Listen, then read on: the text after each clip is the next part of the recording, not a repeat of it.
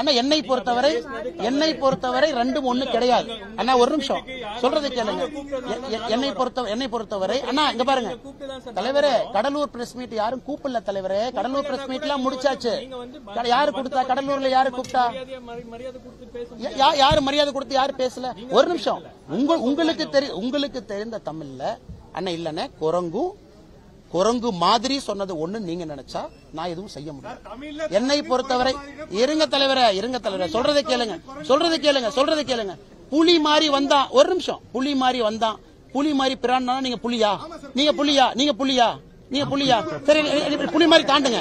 இன்னைக்கு புலி மாதிரி தாண்டுங்க. இல்லனா அவர் வந்து புலி மாதிரி கேள்வி கேட்டாரு. இன்னைக்கு ஷபீர் அகமது புலி மாதிரி கேள்வி கேட்டாரு. கிடைச்சவங்க நான் பார்க்கலாம். இது அனைத்துமே ஓமை. அண்ணா இங்க பாருங்க. தலைவரே இது அனைத்துமே ஓமை. இது அனைத்துமே ஓமை. குரங்கு மாதிரி. அண்ணே ஒரு நிமிஷம். அண்ணா ஒரு நிமிஷம். அக்கா அக்கா இல்ல இல்ல. அக்கா நீங்க சொல்றது கேளுங்க. அக்கா ஒரு நிமிஷம். யூ லிசன் டு மீ அக்கா. நீங்க சொன்னீங்க. தவறு என்று தவறு என்று இருந்தால் வேற வேற எப்ப பண்ணணும். சொல்லுங்க அண்ணா வேற எப்ப பண்ணணும் சொல்லுங்க. பிரஸ் மீட்ல வந்து ஏலம் போடுறீங்க. ஒரு பிரஸ் மீட்ல இந்த மாதிரி பேசுறீங்க. அவருடைய பேக்ரவுண்ட் நாளைக்கால ரிலீஸ் பண்ணட்டுமா? ஒரு நிமிஷம். ஆனா பத்திரிகையாளர் மேன்மைக்காக இருங்க இவங்க கேட்ட கேள்வி இவங்க கேட்ட கேள்விக்காக இவங்க கேட்ட இவங்க கேட்ட கேள்விக்காக நான் எந்த மனிதரை ஆயிரம் ரெண்டாயிரம் மூவாயிரம்னு சொன்னமோ நாளை காலைல அந்த மனிதருடைய ப்ரொஃபைல் நான் ரிலீஸ் பண்றேன். தவறா நினைக்க கூடாது நீங்க தவறா நினைக்க கூடாது I am releasing his profile ஓகேனா I am releasing his profile நீங்க நான் யாரையும் சொல்ல ஸ்பெசிபிக்கா அவரை பார்த்து மட்டும்தான் சொன்னேன். நீங்க கேள்வி கேட்டதுக்காக நாளைக்கு காலையில எந்த பத்திரிக்கையாளர் ஆயிரம் ரெண்டாயிரம்னு சொன்னனோ அவர் ப்ரொஃபைல ரிலீஸ் பண்ணுவேன். அந்த நிறுவனம் தவறா நினைச்ச கூடாது அந்த நிறுவனத்தினுடைய ஓனர்கிட்ட நான் வாட்ஸ்அப்ல அனுப்பியிருக்கேன். சொன்னதுக்கான காரணத்தை நான் சொல்லியிருக்கேன். அவருடைய போஸ்ட் எடுத்து போட்டிருக்கேன். பல விஷயங்களை சொல்லியிருக்கேன். ஆனா ஒரு நிமிஷம் ஒரு நிமிஷம். அதனால் தயவு செஞ்சு இது பத்திரிகையாளருக்கு இது வைக்காதீங்க. பத்திரிகை மரியாதையாக நேர்மையாக நாணயமாக தொண்ணூத்தி ஒன்பது சதவீத பத்திரிகையாளர் இருக்கின்றீர்கள். நேர்மையாக நாணயமாக நடத்துகின்றோம். எங்களுக்கு ரைட்டியஸ் ஆங்கர் நியாயமான கோபம் சில பத்திரிகையாளர்கிட்ட இருக்கு. ஏன்னா way of reporting mischievous reporting. I can not apologise I never made a mistake apologise எல்லாம் பண்ண முடியாது என் பிளட்ல அது கிடையாது. தவறு செய்யாதப்ப நான் எதுக்கு அப்பாலஜைஸ் பண்ணணும்? அதுக்கு மேல நீ கவர் பண்றது கவராது உங்க இஷ்டம். ஒரு நிமிஷம்.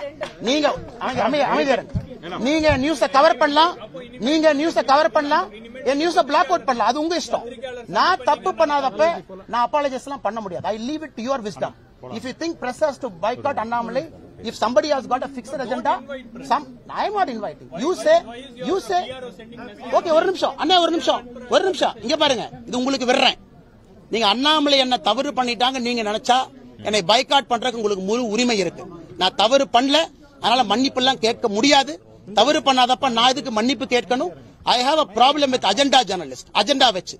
என்னை பைக்காட் பண்ணும் நண்பர்கள் உங்களோட இண்டிவிஜுவல் டேஷன் எடுத்தீங்கன்னா I welcome it no problem தயவு தயவு தயவு செய்து தயவு செய்து பிஜேபியினுடைய மாநில தலைவர் அரசியல் கோமாளி பற்றிய செய்திகளை கேள்விகளை தவிர்க்க வேண்டும். குறிப்பா அதாவது உலகத்திலேயே பெரிய கரகாச கோ- கரகாட்ட கோஷ்டி எதுவும்பாங்க அதை காமெடி நீங்க பார்த்துருப்பீங்க. சிவ அதாவது வந்து ஈஸ்வரன் கோயில்ல உட்கார்ந்து கந்த சஷ்டி கவசம் படிச்சவங்க உலகத்துல நீங்க இங்கதான் பார்த்திருப்பீங்க. யாரு அந்த யார் நீங்க சொன்ன கோமாளியை தான் பார்த்திருப்பீங்க? அந்த கோயில் என்ன கோயில்?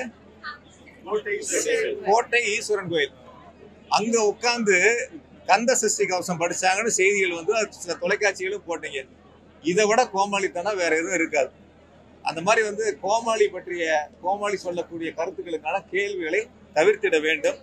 நிறைய வந்து தமிழ்நாடு முழுக்க மாநகராட்சி நகராட்சி பேரூராட்சிகள் ஊராட்சிகள் என ஒட்டு மொத்தமாக இன்று அரசு எந்திரம் தமிழகத்தினுடைய முதலமைச்சர் மனு தளபதியுடைய உத்தரவின் அடிப்படையில் நாட்டு மக்களுக்கான மனுக்களை தேவைகளை கோரிக்கைகளை மனுக்களாக பெற்று நிறைவேற்றக்கூடிய ஒரு சிறப்பு வாய்ந்த உள்ளாட்சி தினத்தை மாநில முதலமைச்சர்கள் அறிவித்து அரசாணை வெளியிட்டப்பட்டு அதன் அடிப்படையில் இன்று இந்த சபை கூட்டங்கள் நடந்து கொண்டிருக்கின்றன. எனவே இந்த சபை கூட்டத்தில் மாண்பு மக்களுடைய தேவைகளை நிறைவேற்றக்கூடிய முதலமைச்சராக மாண்பு தளபதி அவர்கள் எடுத்திருக்கக்கூடிய அந்த சிறப்பு வாய்ந்த நடவடிக்கைக்கு ம- மக்கள் வந்து மனதார பாராட்டியிருக்காங்க. நீங்க இந்த சபையிலேயே பார்த்தீங்க. எவ்வளவு பேர் அரசுக்கும் பாராட்டுகளை தெரிவித்தார்கள் என்று. எனவே இனி வரக்கூடிய காலங்களில் தயவு செஞ்சு இங்கே மட்டும் இல்லை.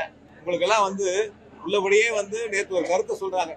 நீங்க வேணா பாய்கேட் பண்ணிக்க தவிர்த்துங்க வராம இருக்கணும் அதுக்கப்புறம் நீங்க அந்த ஒரு கேள்வி கேட்கறீங்களே அதுக்கப்புறமா அந்த நபர் சார்ந்த அந்த கோமாளி சார்ந்த கேள்விகளை முன்வைக்கிறீங்களே. சார், தயவு நான் பிரதர் நான் ஒன்று சொல்லிடுறேன் கேளுங்க. தயவு செஞ்சு கோமாளியோட கேள்வி விட்டுருங்க. வேற ஏதாவது நாட்டு மக்களுக்கான கேள்வியை கேளுங்க.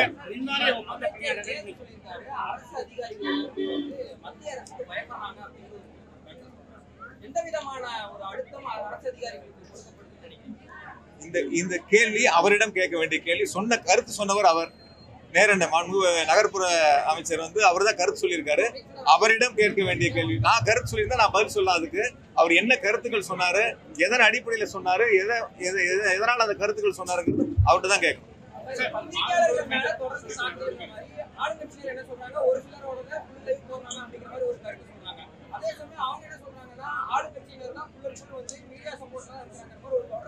பத்திரிகையாளர்கள் மீதான தனிமனித தாக்குதல் அப்படிங்கிற மாதிரி தொடர்ந்து அதிகரிச்சு இருக்கு அஜெண்டா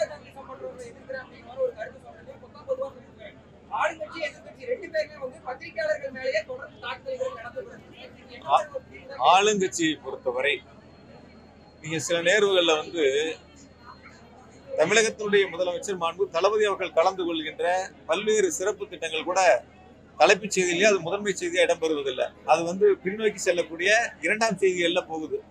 சில நேரங்களில் நீங்க சொல்லக்கூடிய கோமாளியினுடைய செய்திகள்லாம் முதலிடத்தை முன்னிலை பெறுகிறது. அதனால வந்து ஆளுங்கட்சியை பொறுத்த வரைக்கும் செய்திகள் வெளியிடுவதில் நாங்கள் எந்த விதமான இது வரைக்கும் யாராவது உங்கள் தொலைக்காட்சி நிறுவனத்தையோ பத்திரிகைகளையோ மிரட்டியிருக்காங்களா நேற்று இங்கே வந்து கோமாளி சொன்ன மாதிரி ஒரு கருத்துக்களை நான் எந்த நேரங்களையாவது இங்கே சொல்லியிருக்கோமா? கோயம்புத்தூரில்? நீங்கள் வர்றதுனா வாங்க போகிறதுனா போங்கன்னு அந்த மாதிரி ஏதாவது சொல்லியிருக்கோமா? அந்த மாதிரி கிடையாது. பத்திரிகைகளை பொறுத்த வரைக்கும் ஆளுங்கட்சியை பொறுத்த வரைக்கும் குறிப்பாக நீங்கள் எடுக்கக்கூடிய பத்திரிகையாளர் நேற்று வந்து ஓய்வு பெற்ற பத்திரிகையாளருக்கு ஓய்வூதியத்தை மாநில முதலமைச்சர்கள் வழங்கியிருக்காங்க. அப்ப யார் பத்திரிகையாளர் மேல அக்கறை கொண்ட ஒரு முதலமைச்சர்? எந்த அரசு நிர்வாகம் பத்திரிகையாளர் மீது அக்கறை கொண்ட ஒரு அரசு நிர்வாகம்? மாண்பு முதலமைச்சர் தளபதி அவர்கள் தான் பத்திரிகையாளருக்கு ஓய்வூதியமே வழங்கியிருக்காங்க. ஒரு பத்திரிகையாளருடைய நலனில் அக்கறை கொண்ட ஒரு அரசு மாண்பு முதலமைச்சர் தளபதியுடைய நல்ல